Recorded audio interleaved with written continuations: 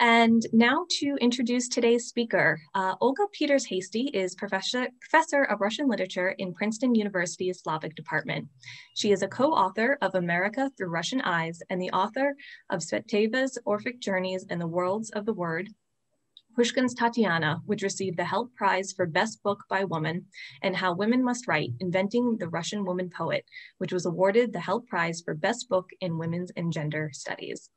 So with that, I will turn it over to Olga. Good afternoon. Hello. Um, thank you for that nice uh, introduction and for inviting me to come to this uh, to this lecture series.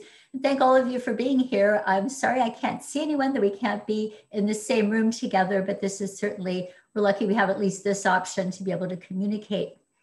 So my talk today, in a way, could say is a place where History Month of March meets Poetry March of April.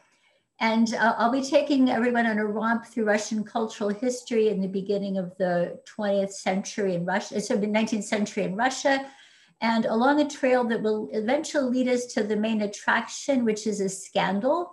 This is a scandal that has no sex in it, but it does have gender and politics.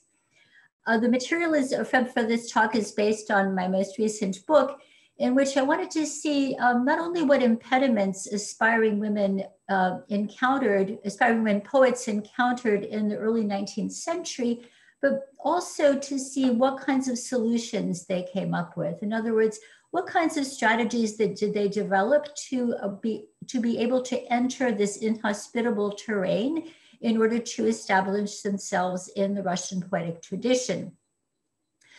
Now, um, the uh, in particular, the forced marriage scandal that we'll look at today allows us to see the success of one such strategy, um, but also the serious vulnerabilities it incurred. Now, the title of the book and of the talk today, uh, How Women Must Write, uh, refers to a poem by the poet that we'll be talking about today. I'm going to int introduce her in just a moment, so don't worry. Um, the title of her poem is How Women Must Write. And what I liked about it is that the word must, the two meanings of word must, ideally capture two very broad categories of um, things that women were up against as they tried to write poetry. The first one, of course, is must in its meaning of compunction. This is how you must write. This is how you have to write. This is what you can write about. This is what you can't write about. So, must in that sense but then there's also the other meaning of must, which is speculative. It's, um, it's the meaning of must that says, oh, you're a woman, you must be thinking XYZ. You're a woman, oh, you must mean XYZ. So that women were constrained not only in what they were writing about, what they could write about, but also in how they were read. And we'll see both of those things at play in the scandal that we'll talk about today. Now, the scandal involves, um, we'll be considering and how an inflammatory political poem got past two arch conservative editors, two rounds of government censorship to appear in a reactionary daily paper that had ties with the secret police. This is quite a coup. Um, but before we get there, um, with this scandal will, will, allow us to see um, in action women's strategies that use gender to get her poem into print, but also the vulnerabilities and the problems that came with that. So I'd like to give you a brief overview of the talk because we'll be romping around in different places, just so you have a, a, sort of bit of a map. Um, first, I'll, I'll, start out with some background material. I'll set the stage with a brief sketch of poetry and power in Russia in the first half and into the mid, mid 19th century. And this will provide some, I hope, helpful context for the body of the talk, which is then the scandal and the aftermath to which we'll turn. Um, I'll then also see our poet through to her death in 1858. And then if time allows, um, I'll offer a very brief coda that will take us for a moment into early 20th century Russia, but I'll only do that if I'll only do that if there's time because I'm especially looking forward to receiving questions and discussions, comments from the floor. So let's start with poetry. As we look at the first three decades of the 19th century, we see before us the golden age of Russian poetry. These are two of its most famous proponents, whose names are probably familiar to all of you, Alexander Pushkin and Mikhail Lermontov. Um, this is the Romantic period, of course, And it's important to bear in mind that Romanticism was seen as an expressly masculine poetic movement. It was a, the poetry was aligned with male sexuality, which made it a genre deemed unsuitable for women. Additionally, Romantic poets took great interest in national identity, liberation of subjugated peoples. We have only to think of Lord Byron uh, fighting in the Greek War of Independence against the Ottoman Turks, uh, against the Ottoman Empire, so that you get a sense of that. Um, this too is not something appropriate for women. Moreover, the genre of poetry also had uh, was recognized to have political significance. Again, not suitable for women. Poems have so many ways to generate meaning, as we know, whether it's literal, figurative, analogical, by association, and so on. And a poem can signify at a variety of levels at the same time in very highly condensed form. It's a small form, relatively speaking, compared to War and Peace for sure. Um, easy to copy out, easy to circulate, to memorize, to recite in private gatherings, and as such, it possessed an enviable potential for eluding censorship of forbidden context, content, content or ideas. Accordingly, the government censors kept a very wary eye on poets and subjected their works to close scrutiny. Now, I will never sit here and say that censorship is a good thing. It's not. It's problematic in all the ways I don't have to recite to you now. But it does have one outcome, and that's that it really trained poets to write very carefully. They learned how to slip things past the censorship to their readers, who, for their part, learned to be very good at reading between the lines. So, this government constraint had the very un- unintended consequence of leading to the development of a highly skilled set of writers and of readers who were well practiced at reading between the lines. Now, the diligence of the government censorship makes it clear that poetry mattered and that the regime took care to keep it in check. Needless to say, we see, we see this again in the Soviet regime, the idea that poetry really mattered. We have the number of dead poets, poets that died in Stalin's, Stalinist times, uh, sort of being very tragic proof of that. Now, one thing is one thing when poets praise monarchs, and another thing entirely when they called for change in familiar socio-political structures, as the Romantics were inclined to do. In fact, Nicholas I himself famously took on the role of being Pushkin's um, private censor, censoring his poems. Now, in this culture, women were acknowledged not as poets, but they were acknowledged as readers the restrictions placed on their actual experience made them turn to books more and more to be able to vary their lives and gain access to areas they didn't have access to uh, directly. There also, they could also be hostesses of salons where uh, poetry, where the arts could thrive. And they could write verses and albums. This was, of course, very popular. You exchanged albums, wrote little uh, verses for each, you know, either your own composition or a poem you liked into each other's um, uh, albums, but they were not allowed to be publishing poets. Now, in the late 1830s and early 1840s, we begin to see a bit of a shift as the aristocracy very gradually loses its hegemony over the arts. Meanwhile, a mixed class of intellectuals emerge calling for civic minded prose, social criticism, naturalism, and assigns an increasingly pragmatic role to literature, so aesthetics giving way to pragmatics. This meant that by the eight, early 1840s, the Romantic movement was getting a little wobbly. Major poets of the Golden Age were dead. And if you can see the, the tragic dates of the two poets up on the screen, um, testify to the fashion of dueling that was still very much in practice at that time, even though it was forbidden. Um, anyway, the, um, the followers of these great poets seemed weaker now. It was no longer the pinnacle of the golden age, and civic minded prose was on the rise. Now, as Romanticism lost its energy, its momentum, its drive, the male poetic establishment came to be more accepting of aspiring women poets. You know, any kind of ally is a good thing. So this gained women a toehold in the poetic tradition, but just as it was waning. What women could and couldn't do continued to be restricted by social norms, a lack of formal educational opportunities, and various limits placed on their experience, whether it's fashions that impeded their freedom of movement or the prohibition against appearing in public without an escort. Um, this is not unique to Russia, and I can't help uh, provide one vignette from France. Uh, George Sand, who was wildly popular in Russia at just this very time, uh, you, as we know, dressed in male attire so that she could move through the streets of Paris freely and unobserved. Now, other women thought saw this uh, her freedom of movement thought this was a great idea and similarly started emulating her so they could walk around in the streets and not, not attract unwanted attention. Um, it got to the point where in, in Paris, uh, women who wanted to do that had to apply for a license and get a license to wear male clothing so that they could walk through the streets. This didn't happen in Russia, but George Sand was very popular. Now, apart from being a vignette, my mention of Sand reminds us of the increasing politic politicization of the woman and her place in society in Russia at this time, which complicated things for flesh and blood women. So these abstract notions of women being politicized and then women themselves, which, which had to deal with it. Now, in this setting, we see that aspiring women poets could respond in two broadly, two broad categories to the restrictions imposed on to the gender biases that they worked under. First of all, they could, they could, of course, play it down in their poetry. They could play down the fact they were women. They could, for example, avoid grammatical references to gender. They could use masculine pronouns. They could just avoid gender altogether. Um, they could also, how they presented in society, they could refuse to act frivolous and dress up and say they enjoyed balls. They could make a point of seeming scholarly, serious, um, and well read.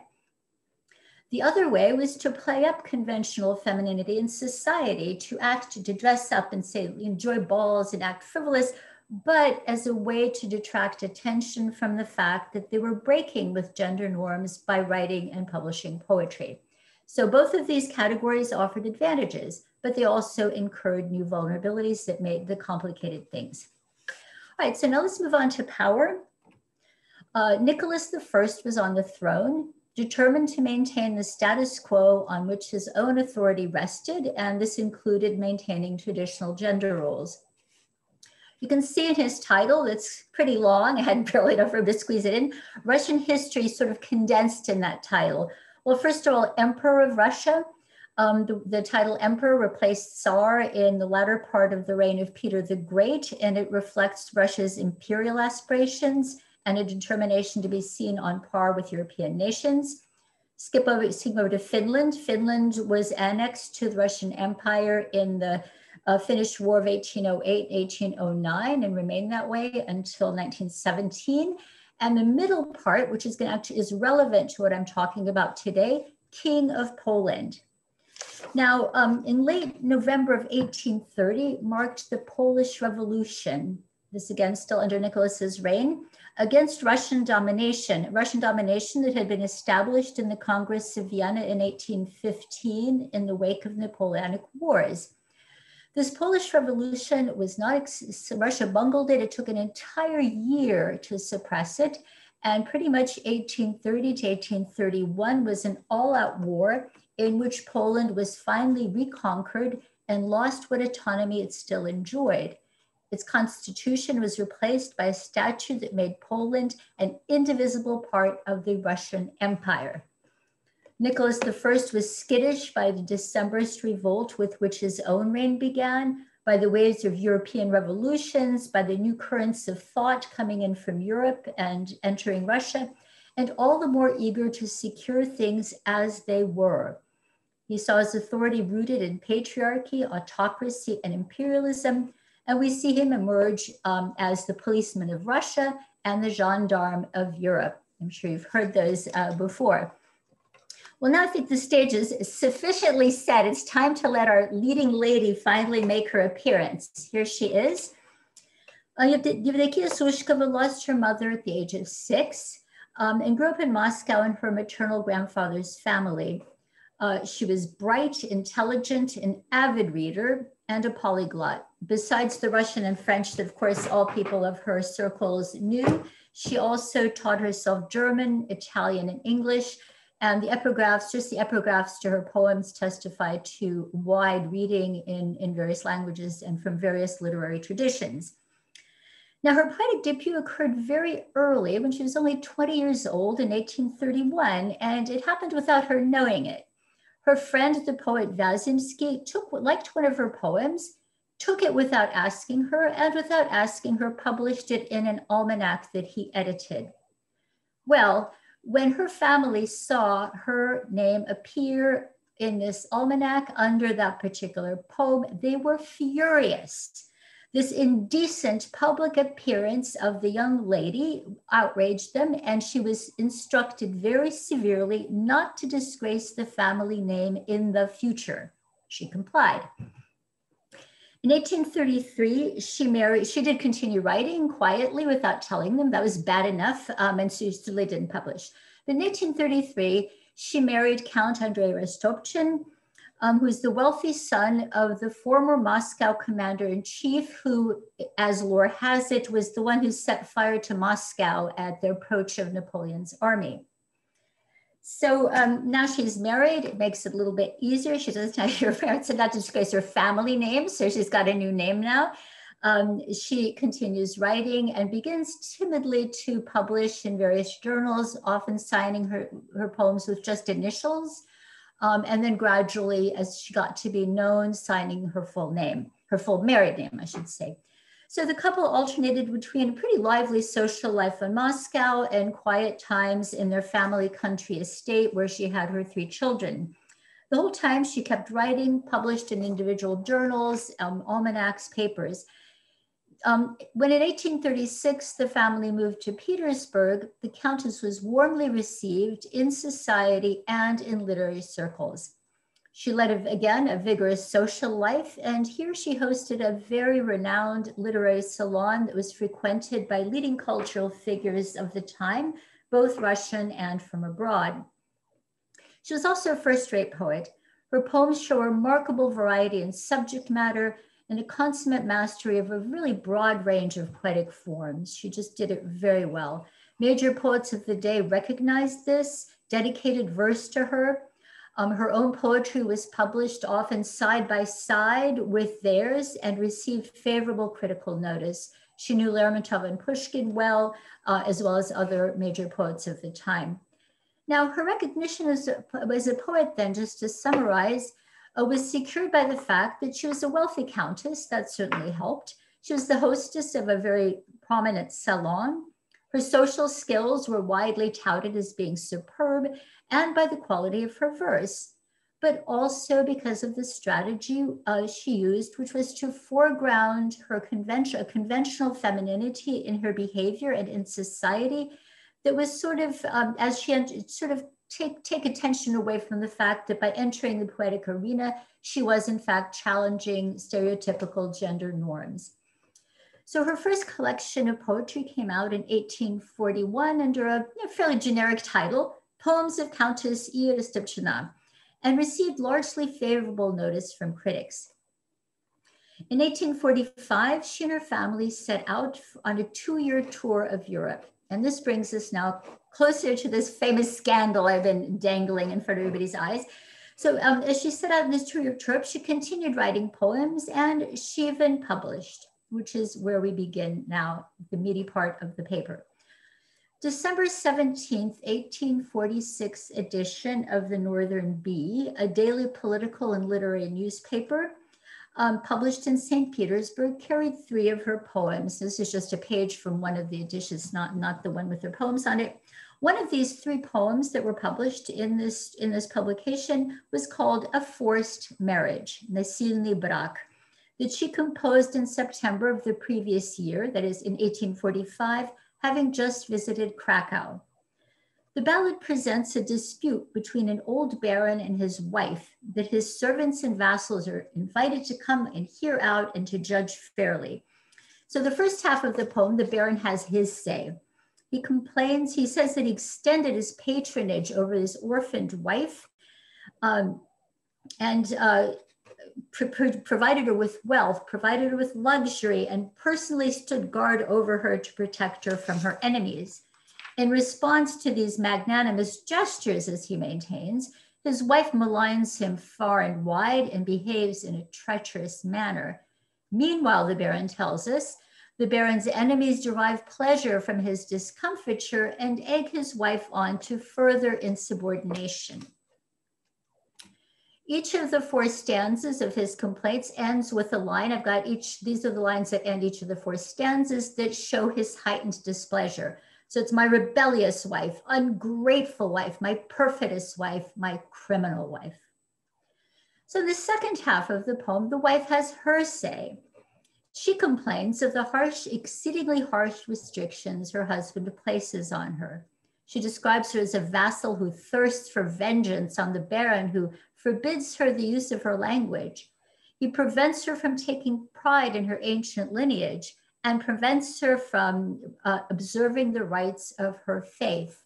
She bemoans the loss of her servants and bridles under the oppression she endures at the hands of the people she, that her husband has watching over her.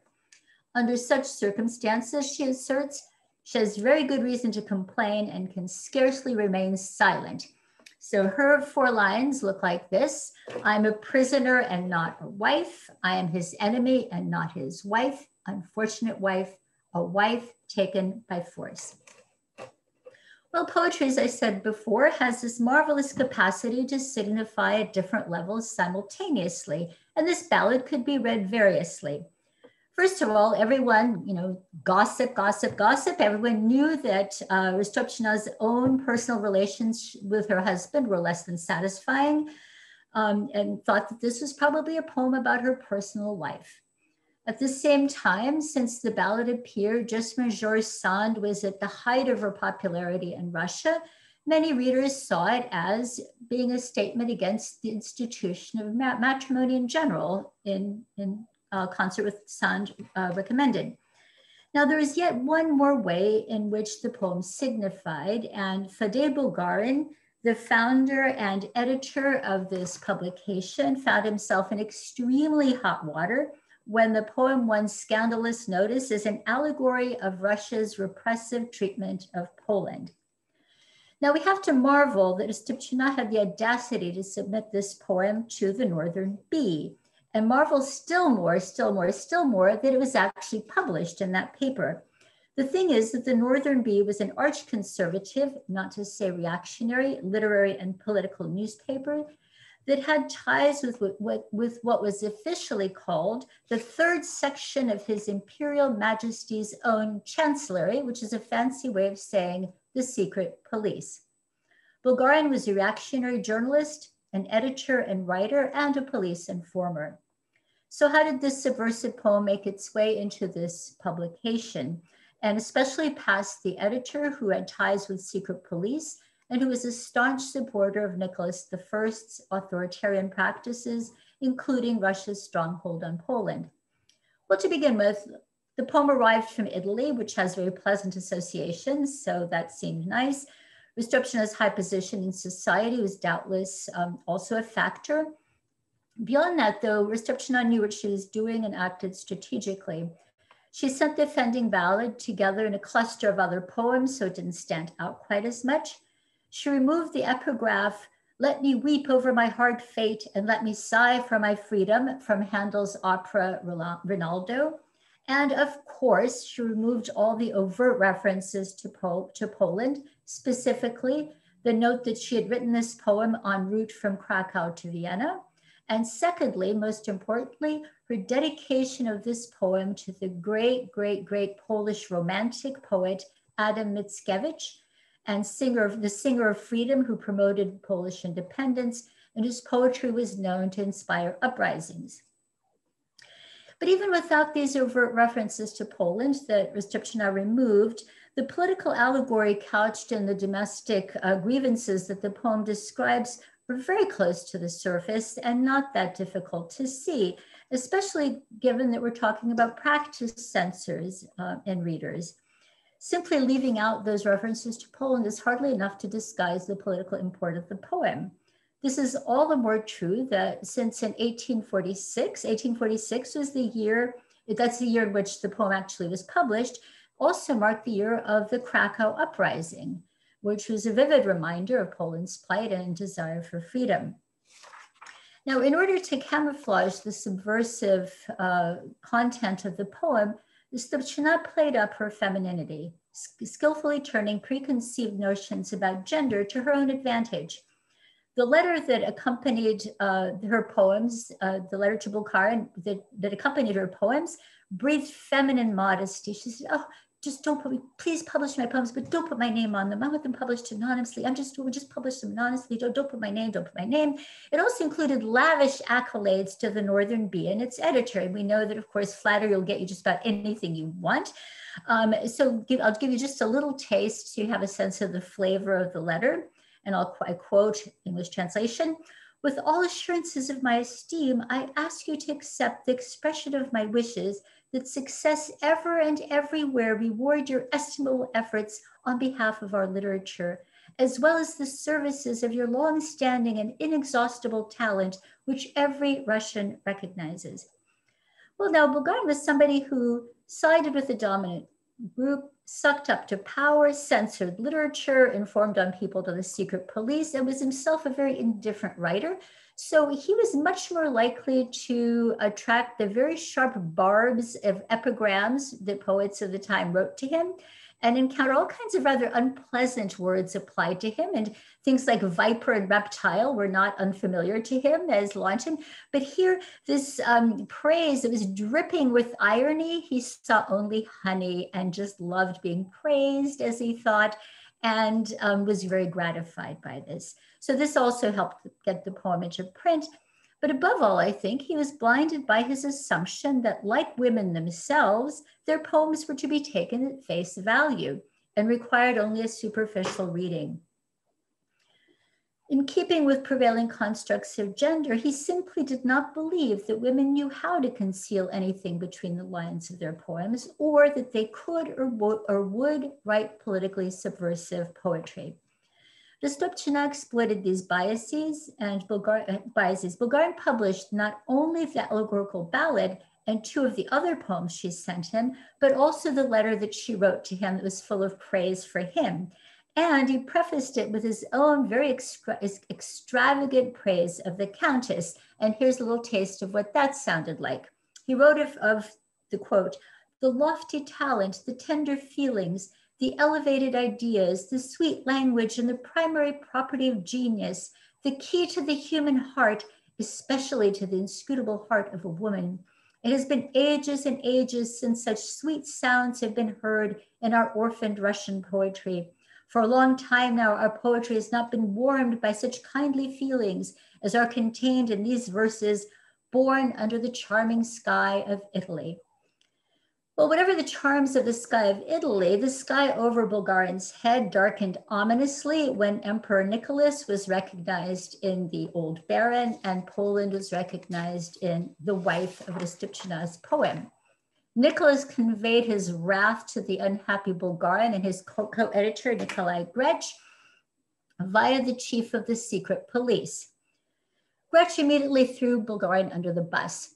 He said, well, Bulgarin's the one accepted the poem for publication. I didn't. Um, moreover, Grech went on to say, I don't even like poetry, and poetry written by women is especially detestable. I don't like it at all. I mean, you know, it's not my fault. He went on to explain that he took the poem at face value because he never dreamed that a woman could, and especially one of her class, would be capable of such perfidy. He also pointed out that the allegorical meaning he and Bulgarin had missed had also evaded two rounds of government censorship. Now, to explain the two rounds of government censorship, anytime something was published, say in, in a journal, a publication such as the Northern Bee, first each piece was sent individually to the censor's office who approved it. And then when the entire um, issue was assembled, it went through censorship yet again. It's actually very astute because you can take two very innocent things, you take innocent pieces and put them in a context arranged in the way that could potentially have seditious content. So both of these killer uh, editors and their two, two rounds of government censorship just went right past what was pretty obvious allegory in this poem. Um, so Bulgarin's position was all the more precarious because he was of Polish extraction. He too vehemently protested his innocence of the poem's political dimension. Um, he went on to insist that it was a mistake to see Nicholas and the Baron and Poland and the wife because it wasn't a political allegory, but if you were to read it as a political allegory, it'd be much more reasonable to see the poem showing Baron Austria in argument with his wife, Italy. Um, that did not get him off the hook.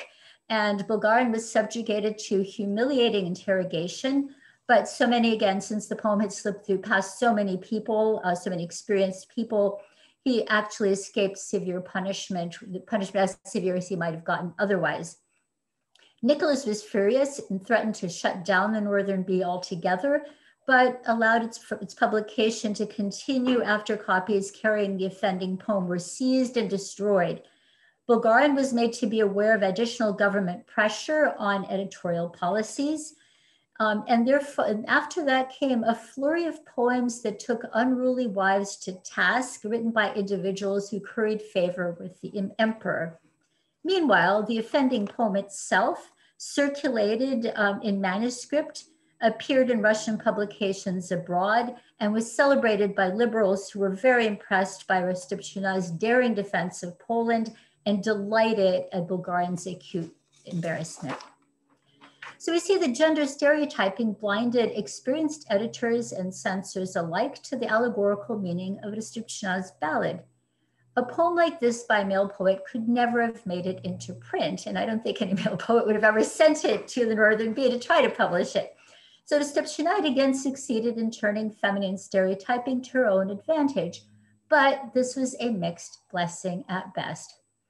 For all the anger that, that the emperor vented on Bulgarin, uh, the brunt of his displeasure fell quite predictably on the author of the poet, poem herself. Um, when in 1847, almost it was almost a year after the poem appeared in print, Rostopchina returned to St. Petersburg from her European voyage.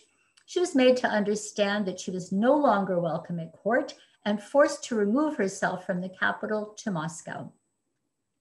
Thinking to regain admission to the social circles from which she had been expelled, uh, appeared at a Moscow ball given in honor of Nicholas I, only to be shown out. Nothing she subsequently wrote could reinstate her in the good graces of the emperor, and she returned to St. Petersburg only after his death. Now, even then, his displeasure continued to haunt her.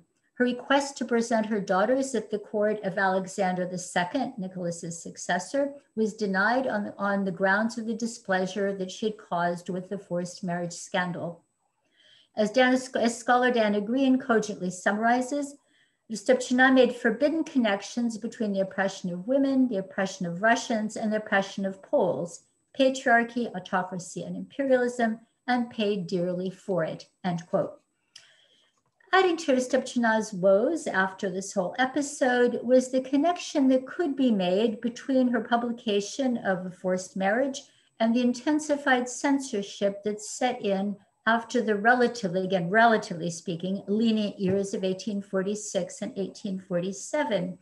Now, this her publication is by no means the direct cause of this intensified censorship, and yet, from that perspective, it made the forced marriage scandal look like an impetuous, ill considered gesture. Even as it demonstrated the power of a woman's pen, the ensuing scandal and its consequences could be seen as supporting the prevailing bias that women were willful, lacking in judgment, and thus in need of close male supervision.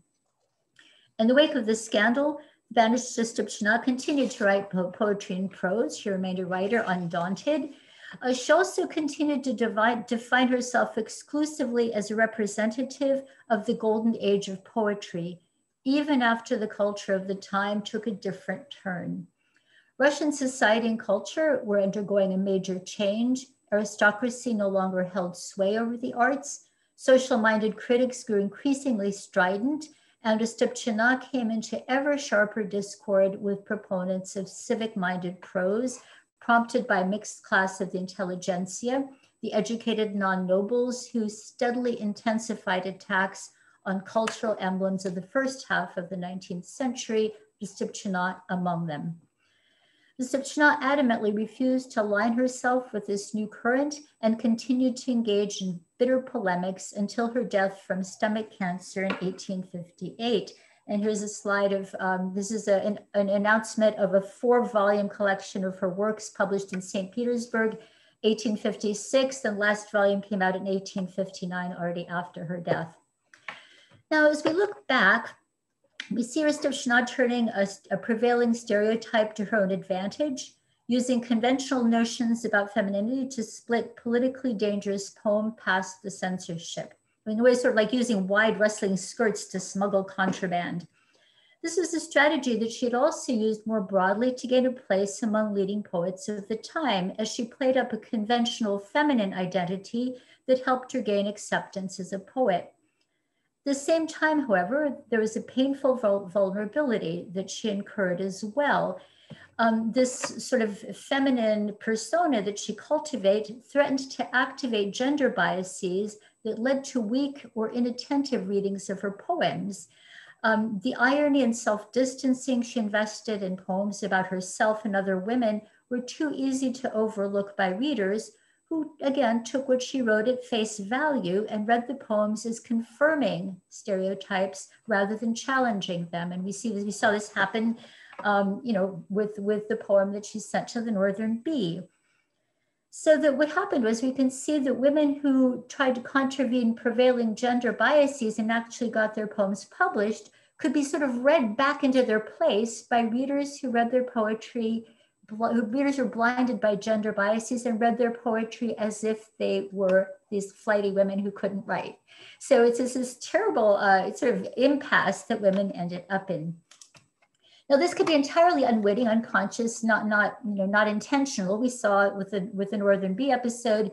Uh, the censors and the editors weren't trying to put down women. They just thought, oh, that's a great poem. We're going to publish this. You know, we'd have this in our in our. So it's completely un, unwitting.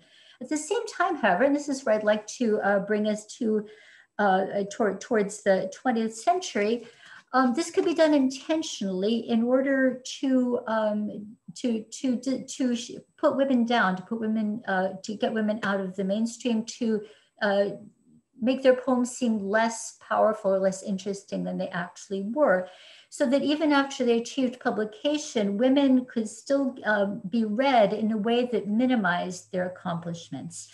And so let's quickly just jump for a few minutes into the early 20th century. So we see, um, if we look at the Russian trajectory of Russian literary history, remember we started with the golden age of poetry, then we went through the period of prose, the rise of the, of the Russian novel. As we get to the early 20th century, late 19th, early 20th century, poetry, the golden age of poetry that had been forgotten, is now uh, poetry is now replaced. It's again um, the retain, retains its pride of place on the literary arena in a period called the Silver Age of Russian poetry. Golden Age of poets who've been sort of forgotten a little bit, uh, are once again revered. They're seen as models and sources of inspiration. An interesting change in the literary landscape was that many more women are now starting to write and publish poetry. Many more women want to be poets. Um, this occurs often under very heavy male mentorship, and I hate to say this, but some pretty heavy sexualization as well. Now, here we see that even as men poets of the 19th century were reinstated and regarded as important models, women poets of that period remained by and large unsung. Their history was sort of forgotten. There's a bit of an erasure going on there. Rostopchina was, as I described already, was a recognized poet of her time who published side by side with leading writers of the day. Um, she was not reinstated in this poetic pantheon. Indeed, a male poet of the early 20th century, this is Vladislav Khodasevich. If any of you know Nina Berberova, that was her husband um, wrote two disparaging essays devoted to Rostopchina, in which he described her as a frivolous socialite, an empty-headed beauty who wasn't much of a writer at all.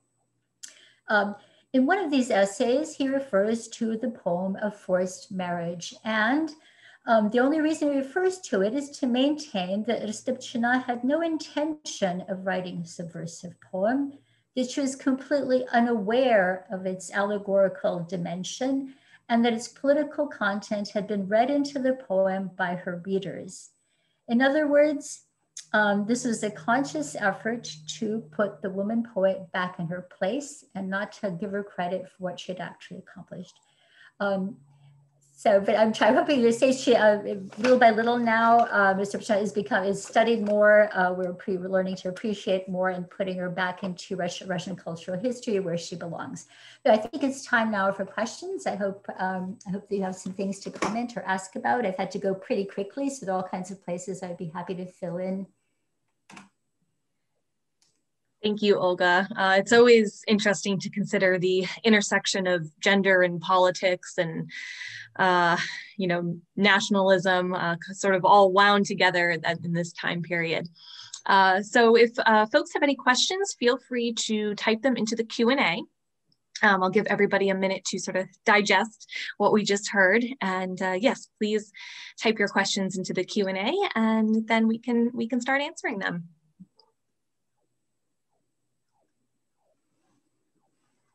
Distract people from coming up with questions. But I also want to say I like what Amy's point about how closely interrelated everything is. I mean, it was, you know, whether it was Europe or Russia or any time period.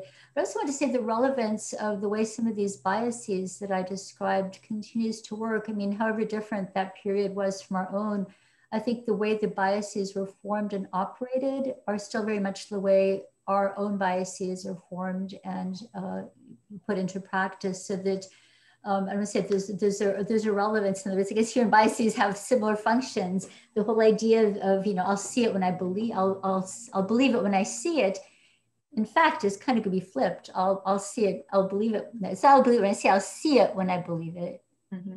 So if you believe women can't write, that's what you see. But I think there's some questions there. Yes, uh, so we have our first question um, from Philomena. I hope I'm pronouncing your name correctly. Uh, do we know just how purposeful and aware her intentions actually were in writing her poem? This particular poem? Mm-hmm.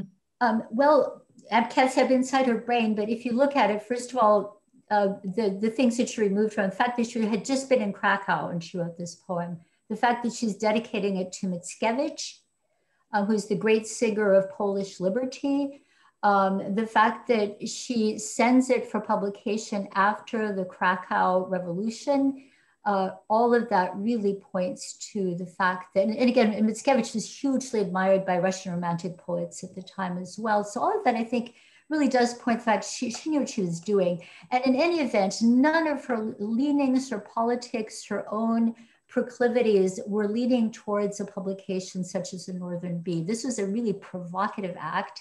And in fact, uh, there are different stories describing it. Uh, by one account, uh, she was in Italy at the time where the Russian writer Nikolai Gogol also was. And they said the two of them hatched this little plot together just to show that the censors were so stupid they'd never catch on. Um, that's hearsay. I don't know if that's fact or not, but I think we have very strong evidence that she knew exactly. She knew what the Northern Bee was, so she knew mm-hmm. what she was doing. It's dangerous. It's a very risky business. Yeah but but she did it. uh, and to follow up uh, to that question, uh, did she write other similar kinds of, of critical poems that you know of? Yes, you know, it's, uh, I love these questions like this. Yes, thank you for asking that as well. Um, one thing that happened to her is when her first, when that uh, first set of, of her poems came out in 19, 1841, um, the huge variety of poems that she had uh, no, I think I'm wait. So I'm, I'm straight for the question. Never mind. Let me go back to the question, and I'll talk about this. Was um, she wrote a lot of different poems, a lot of which were directed at social criticism.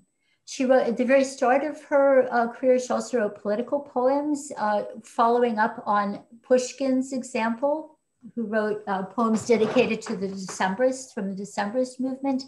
Uh, she similarly wrote an, an anonymous poem, uh, poems about that, a political poem uh, supporting the Decembrist movement. Uh, she also wrote a lot of poems that were contained social criticism that was pretty clear.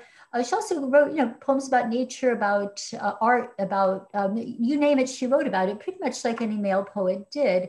And one problem that happened is when Pushkin and some of his friends were just starting Russian poetry, and we have Pushkin's letters discussing with some of his friends, do you think, is it okay to write about, about the ballroom? Can we include ballrooms in poetry? Is poetry too lofty to have these day-to-day activities? They were still trying to figure out what to do in their genre. And they decided, yeah, of course, it's part of our lives. We can describe ball, the ballroom in our poems, and they go ahead and do it.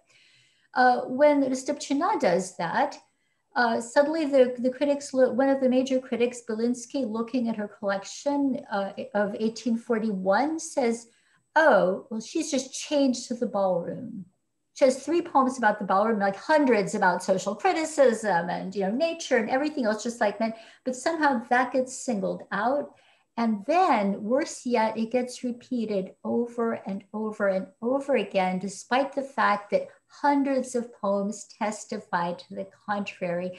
And the other, I didn't have a chance to say, the other fallout from her assuming this sort of feminine guise to project, to say what she wanted to say, to project criticism, to um, present herself, is that even a sort of feminist critics who were looking at Russian women poets ignored her because they thought she was too feminine. They didn't see past her guys. Were just, you know, this is a while ago, and like we're, we're now breaking through that. But um, it was a, it was a, it was we call now a feminine masquerade that uh, stood her in good stead, but also damaged her. So it's a mixed blessing. But yes, although she didn't write such overtly political poems anymore, she did have a lot of social criticism and prose as well. She also wrote uh, prose essays, prose stories, and one novel called The Fortunate Woman. Great.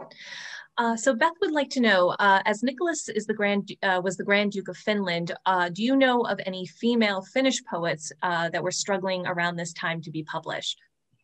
Alas, no, I, I don't know Finnish and I don't know the history of Finnish literature. So I wish I did. Do you, do you happen, does the person ask the question have any information on that? Yeah, perhaps uh, perhaps Beth, you you have some insights to that. Um, unfortunately, I don't have a have an answer either. Um, nope, she doesn't have any knowledge either. so she was hoping, uh, but maybe we can, uh, you know, maybe that's another topic for another time. You know, uh, you just you never know. So um, this is an interesting question from Jim. Uh, Nicholas I was a devout believer that orthodoxy was the foundation of mm-hmm. Russian values, mm-hmm. and uh, did Rostopchina share that view? Well, okay, so this this takes us into a lot of that's a really good question, very rich. Also, like all the other questions, they're they're big ones. Um, part of that viewing of, of the uh, of orthodoxy was also the included the place of the woman uh, in the you know the way she is described, and that certainly had uh, repercussions. What was the question again? So it was the the did, did, did, she share the view that uh, really that orthodoxy was the foundation of, of Russian values, or did she sort of push back against that at all, or? Um, yeah, I think I think she, that was probably part of her views, but I wouldn't say it informed her views entirely. Um, in fact, she broke with a lot of that. I mean, she had, I think it's not clear the paternity of her children is under question, and she led more the life of a society woman in that sense. Um, there was also the issue, but to add to that, in, in the sort of history of women's writing, there were some women who attached themselves specifically to religious values in an effort to avoid sexualization. That was one thing I haven't mentioned in the talk, it was haunting women all along. The minute you show up in public, ah, you're this available woman, you're this, you know, don't disgrace the family name, even publishing, just you know, words on a page, just get family, you're appearing in public, appearing in public had this sort of desultory aura to it. And so some some women, uh, one one way women tried to avoid that kind of sexualization was to attach themselves to um, you know, sort of more religious views, to align themselves with imagery from, say, the Virgin Mary, or with maternity. Motherhood was another way you could try to avoid that. So that did feed into it. I think maybe less for Rostopchina than for some of the other uh, women of the time and also see all these different approaches also kept women from uniting. You know the men poets out of their clubs and places they got together their brotherhoods they could exchange it they'd be very different. Like say the lake poets in england you had very different ideas but you could talk about them get together. The women tend to get polarized. They tend to be sort of at odds with one another. And uh, some women didn't like Rostopchina for what she was doing because they thought she was, you know, setting them back by acting like a frivolous woman. Um, so it got very complicated, but absolutely that religious image was one that some women shared, although not Rostopchina sort of uh, not much has changed throughout the years if you think about it and sort of pitting women against each other rather than giving them opportunities to come together and, and unite for for you know whatever reason. And uh, you know it's it's interesting to watch those trends throughout throughout history.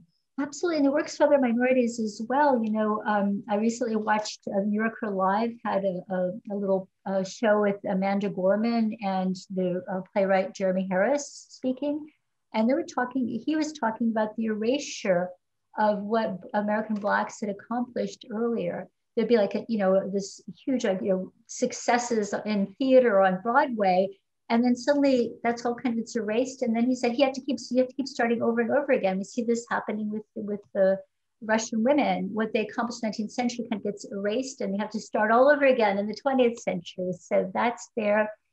Mm. And also, um, let's see, I had another example. Yeah, I'm going to leave it at that. But yeah, a lot of these biases sort of repeated over and over again of the same problems. So it applies to any minority. I think, oh, the other thing is exceptionality. Yes. That there's this just exceptional, one other woman poet, or the only ones mentioned were ever mentioned in the 20th century. And they're okay because they're the exception, the exception that proves the rule. We have these two women, 20th century is Tsvetaeva and Akhmatova. The exceptions the privilege, the exceptionality as a way to show that well, see, they're not like other people of their kind, whether it's gender, race, or whatever else. So that's what I mean when I say these patterns of bias, repeat and stereotyping repeat themselves with pretty similar effects.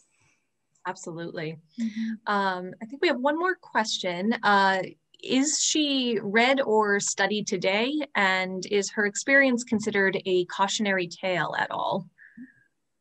probably yes to all of the above. Um, she is gradually becoming recognized. Um, again, women's studies are taking off a little bit. There's a problem there too because the whole the whole uh, debate about whether we should study women separately and have courses on women's writing versus or try to mix them back into the culture of their time. I'm I think it's good to do both, but I think it's important to see them in the culture of the time because you see how they all inter- the interactions are so important. Um, that's just like a cultural history.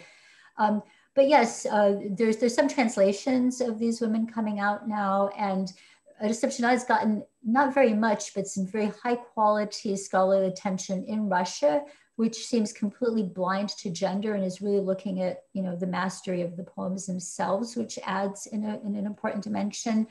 Um, as far as cautionary tales, I think in some ways, I personally see it as a cautionary tale to scholars, uh, including myself, and that we're not immune to biases. Like when I think, oh my goodness, how many of us are reading her? Oh, we don't have to read her because she's a frivolous woman. We're gonna, we're gonna, re, you know, we're gonna resuscitate people like Pavlova, who you know seemed mas, you know, was reviled for being too masculine and not feminine enough, but she wrote these wonderful poems and letting this feminine masquerade that Rostopchina adopted to blind us as well. We're supposed to be pushing through that.